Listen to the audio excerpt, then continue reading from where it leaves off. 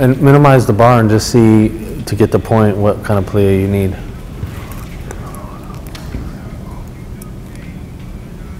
Okay, go on. You can use less of a straighten than that even. Just here, just here. Just even like a, like a rondezvous, yeah, like a- just a rondezvous there. Yeah, okay. What do you think about that versus, It felt good. I felt like I was just on my leg. yeah, okay, so let's, we're gonna do it that way. Because it's also uh, simpler to maintain the height of the knee, and this is what we'll do, yeah. I mean, I would like to get you to the absolute, but, you know,